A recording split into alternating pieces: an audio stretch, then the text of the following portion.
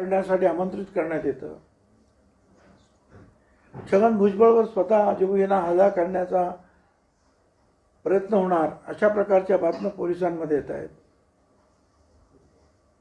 हे सगळं तिकडे चालू आहे. इकडे फक्त भाषणं हवी किंवा हे असं असं होत आहे. याला आळा घाला.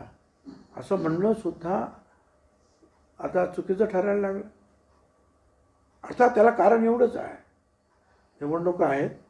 आणि प्रत्येकाला वाटतं लोकप्रतिनिधीला की आपल्याला मराठा समाजाची मतं मिळणार नाहीत. ती मतं जर मिळवायची असतील तर छगन भुजबळच्या विरोधात आपण बोललं पाहिजे.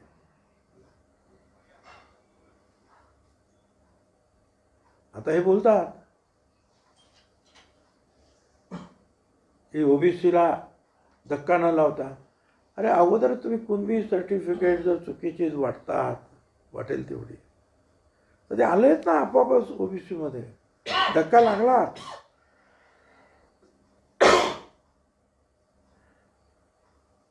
आणि एवढंच नाही. तर ओबीसीमध्ये एकदा आल्यानंतर शैक्षणिक नोकऱ्यांमध्ये आणि राजकीय आरक्षण सुद्धा आपोआपच लागू होणार.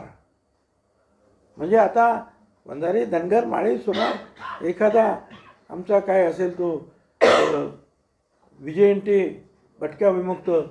कुठे ग्रामपंचायत कुठे जिल्हा परिषदेला निवडून येत असेल तर याच्यापुढे ते येणं शक्य नाही. कारण एकदा ओबीसीत आला की तो ओबीसीला मिळणाऱ्या सर्व योजना सर्व कार्यक्रमात भाग घ्यायला तो त्याचा अधिकार निर्माण होतो. हे सगळं असताना जे आहे लोक बोलायला घाबरतात. फक्त आमच्या विरुद्ध बोलायचं. मग त्याच्यामध्ये काही राजकीय असूया आहे. त्याचबरोबर मराठा मतं आपल्याला मिळाली पाहिजेत म्हणून बोलायचं. तर ओबीसीची सुद्धा मतं पाहिजेत म्हणून फक्त बोलायचं की ओबीसीला धक्का न लावता हे सगळं करा. हे सगळं लोकप्रतिनिधी चाललं आहे एका दुसरे जे आहेत लोकप्रतिनिधी बोलले सुद्धा हे मतांसाठी चाललं आहे तुमचं सगळं. खरं काय ते तुम्ही बोलत नाही. सत्य लोकांसमोर येत नाही. हे बोलले काही लोक. पण बहुतांश जे आहे ते फक्त भुजबळ मंत्री आहेत असं असताना सुद्धा बाहेर दोन समाजामध्ये रोष पसरवत आहेत म्हणजे मी गप्प बसलो असतो. आणि एक समाज एक तो समाजही म्हणणार नाही. मराठा पूर्ण समाजाला मी दोष देतच नाही. पूर्ण समाजाला मी दोष देतच नाही.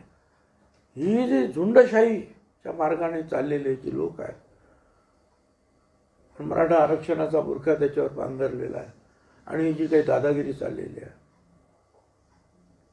ती आम्हाला पसंत नाही. ठीक आहे. आणि त्याच्या ही भूमिका घेतल्यामुळं जे काही सोसावं लागेल भोगावं लागेल ते भोगण्याची आमची तयारी आहे.